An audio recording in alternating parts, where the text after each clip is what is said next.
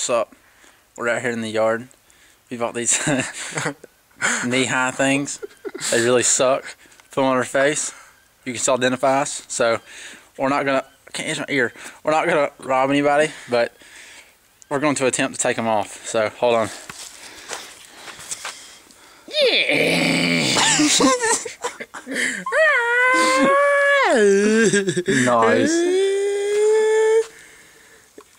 nice. Good job, Donald. Yeah. All right, here you go. Now, now we have a new camera. You know how to film this thing. Yeah, I can- I can- You hold it like this, not like this or this or even this, but this.